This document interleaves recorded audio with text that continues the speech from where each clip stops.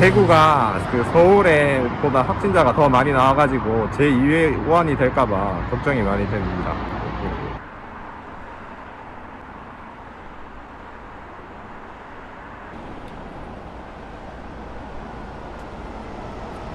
저도 지금 약간 감기 기운도 있어가지고 이게 감기랑 증상이랑 구분하기도 어렵더라고요. 그래서 어떻게 해야 할지 조금 더 자세하게 알려줬으면 하는 마음도 있어요.